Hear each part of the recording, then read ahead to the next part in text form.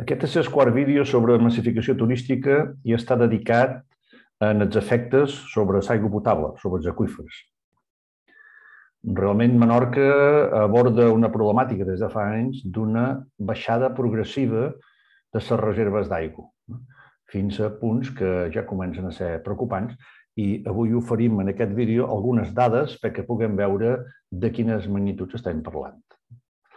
Bé, per la gent que no coneix bé Menorca, hi ha que saber que la geologia de Silla fa que no totes les zones siguin, siguin adequades per tenir pous. Els pous, bàsicament, estan a la zona aquesta del sud, que surt aquí un color crema, que és l'aqüífer de Mitjorn, és la plataforma de Marès, aquí és on treim quasi tota l'aigua que vestim a Menorca. Eh, després hi ha un aqüífer més petitó, que és aquest que està en gris, que seria l'aqüífer de Subaida, ja molt més petit, com podem veure, i després algunes coses molt, molt residuals, diguéssim, eh, on hi pot haver algunes reserves d'aigua. No? Bé, idò. Eh, si ens miram l'evolució de, de, de, dels aquífers aquests eh, al llarg dels anys, des del 97 fins al 2019, que això és una informació eh, extreta, aportada per la Direcció General de Recursos Hídrics i elaborada per l'OPSAM, podem veure eh, els dos paràmetres que solen preocupar més eh, el nivell de nitrats, vale? que seria eh, doncs aquesta baixada, aquesta, aquesta línia, diguéssim, que més o menys s'aguanta eh, sense acabar de millorar, diguéssim, però se va aguantant amb el temps, estem fregant el màxim de nitrats que permet la normativa sanitària, que són 50 mil·ligrams, vale? i el nivell de clorurs, que és la quantitat de sal que, que tenim en els pous, com podem veure, va augmentant. Eh, per què passa això? Bueno, bàsicament passa perquè aquest aqüífer permeable que tenim a mitjorn, aquesta plataforma de marès, eh, ens és molt útil perquè l'aigua que plou i s'aconsegueix infiltrar queda, que diguéssim, com emmagatzemada entre els pores dels marès, però quan treim més aigua de la que entra, eh, el que ens passa és que ens entra aigua de la mà. Eh? Llavors hi ha molt de pous a costa que estan salinitzats i, com veiem, aquesta evolució eh, segueix creixent. Per tant, això, el que ens diu aquesta gràfica és que estem traient més aigua que s'acaent, en definitiva. Eh, les normatives fixen aquests dos paràmetres. Per clorurs, màxim 250 mil·ligrams per, litre per considerar ser eh, aigua potable, diguéssim, i nitrats, màxim de 50 mil·ligrams per litre. Anem a veure com estan els aquífers i podrem veure aquestes tres primeres columnes serien l'aqüífer de mitjorn, que per qüestions de gestió se sol dividir en tres trossos, tot i que és, tot és una plataforma contínua, lògicament, però bueno, hi hauria la part de mitjorn de Ciutadella, la part de mitjorn de Centres, la part de mitjorn de Llevant, que seria la zona de Mó, Sant Lluís, Castell. No? I després aquí surten també els aquífers més petits de Benimalà i és de Subaida, que és aquest segon cadern. No? Bé, doncs mirem com estan els clorurs. Recordem, a la diapositiva anterior, que els clorurs els màxims són 250 mil·ligrams per litre per ser considerada aigua potable. I d'aquí podem veure com està l'aqüífer de mitjor, 556, eh, el 2019, més del doble del que podia ser. Eh, a mitjorn s'estan mantenint amb 190-200, per tant encara tenen una mica de marge, i eh, Llevant, que seria aquesta conurbació de Mó, Sant Lluís, es Castell i part de l'Ó, diguéssim, que, eh, com veiem, ja hi ha anys que supera 250 o els afrega. Vale? Per tant, eh, estem en els límits a Llevant perquè mm, tinguem l'aigua no només en nitrats, sinó amb excés de clorurs. Vale? Eh, L'aqüífer de Minimalà ja veiem que també supera molt, eh? i el que ens queda és l'aqüífer de Subaida, que és aquell segon aquífer més petitó que tenim al nord, que encara mostra uns, nivells de clorurs acceptables. Eh, si ens miram el que diu el Pla Hidrològic de Balears, aquest instrument que ordena eh, l'aigua i com s'ha de gestionar, podem veure aquí com diu que l'aqüífer de mitjorn, que és aquest de, de, de mitjorn, la banda de Mó, diguéssim, eh, diu que està en mal estat. Eh? Està en mal estat a nivell quantitatiu per explotació de més de 100% del disponible i està en mal estat per el nivell de nitrats, perquè sabem que moltes vegades superam els nivells de 50. Ciutadella està en mal estat, ens queda la part de mitjor central i ens queda aquest de Sarroca, que seria l'aqüífer de Subaia, diguéssim. No? Però mm, dues terceres parts de l'aqüífer gros, diguéssim, eh, ja estan en uns nivells que es consideren mal estat. Eh, quan ens miram quins són els consums d'aigua, bueno, aquest és el consum urbà general, diguéssim. Per consum urbà s'entén aquell consum que passa per comptador. Eh? Per tant, aquí no hi ha els consums agraris, eh? que els grans regadius no són aquí perquè no passen per comptador.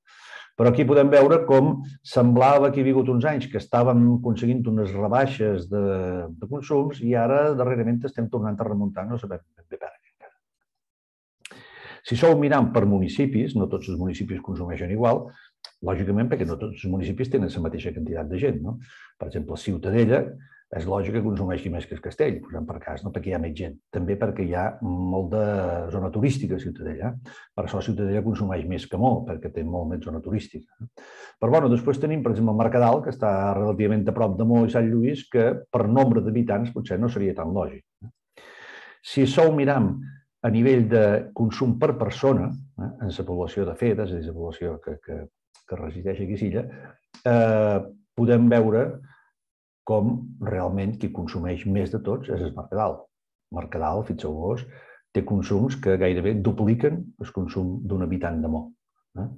I darrere Mercadal hi ha Sant Lluís, hi hauria Ciutadella i Iló. Eh, què tenen en comú aquestes quatre municipis? bueno, bàsicament tenen molta urbanització de costa, i a les urbanitzacions de costa hi ha molt de xalets amb gespes, que s'arreguen durant tot l'estiu i tenen uns consums enormes. Els, els estudis que s'han fet mostren consums 4 i 5 vegades per damunt de la mitjana normal. Per tant, eh, Menorca s'enfronta a un repte important amb el tema de, de, de l'aigua potable i si volem mantenir necessitam algunes propostes. Aquestes són les propostes que des del COP s'estan treballant en les institucions i amb els agents interessats. Per una banda, reorganitzar les tarifes públiques. Això depèn dels ajuntaments. No es refereix a incrementar el preu de les tarifes. Vol dir rebaixar el preu en els consums lògics, per tant, que la gent que consumeix d'una manera lògica pagui menys, i que sigui molt més cas en els consums que no són lògics. Aquests consums, per exemple, de regar gespa de jardins. Bueno, si Menorca té poca aigua d'aqüífer, no és normal que la gastem regant jardins. Els jardins se poden regar aprofitant les aigües pluvials d'una cisterna o reaprofitant aigües depurades, per exemple. No? Bueno, una altra proposta és obligar a que en els nous creixements turístics, que encara n'hi queden uns quants a Menorca, a Menorca no podem créixer les urbanitzacions, no farem noves urbanitzacions, però dins de les urbanitzacions que existeixen encara hi ha molt de creixement previst. Llavors, estem demanant que els nous creixements turístics tendeixin a ser de consum d'aigua quasi nul, que això és una cosa que ja es demana a nivell energètic per normativa estatal, i europea i que encara no s'està demanant a nivell d'aigua. Eh, una tercera proposta seria que totes les noves construccions i les rehabilitacions integrals, que vol dir aquelles, aquelles obres que tiren una casa baixa i la fan nova, haurien d'incorporar cisterna per pluvials. Això és una pràctica que s'emprava habitualment a Menorca fa 50 anys. Totes les cases tenien aprofitament de pluvials i eh, ara sembla que no sigui necessari. Bueno, doncs, tal i com evolucionen els aqüífers que podem veure, tenir pluvials cada vegada serà més necessari i més oportú. També és necessari fer controls exhaustius dels abocaments industrials en els clavegrans. Això també depèn dels ajuntaments. Eh, si hi ha abocaments industrials en els clavegrans, cosa que passa a molt de municipis en aquests moments, el que ens passa després és que les depuradores tenen presència de metalls pesants i les depuradores urbanes no estan preparades per separar els metalls pesants. Llavors, encara que depurem bé les aigües, no els podem emprar per moltes coses perquè estan contaminades de productes molt perillosos. Per tant, aquest és un tema bàsic per poder aprofitar les aigües depurades després. Incentivar pràctiques quilaines a les explotacions agràries vol dir un, uns sistemes que s'empren en algunes explotacions pioneres que permeten afavorir molt que l'aigua s'infiltri dins la terra que les tanques retenguin molt més aigua, no, no quedant embassades, sinó afavorint que, que entrin sota, sota de la terra i, per tant, que puguem recuperar els aqüífers. Això seria molt important i també ajuda molt a prevenir avingudes a torrents. Si les tanques de tota la capçalera, diguéssim, eh, es queden més aigua de la que es queden ara, el torrent rep menys aigua de cop. Eh, després hi ha temes de tecnologies que es poden aprofitar per regenerar les aigües residuals, sempre que haguem aconseguit que no tinguin restes industrials.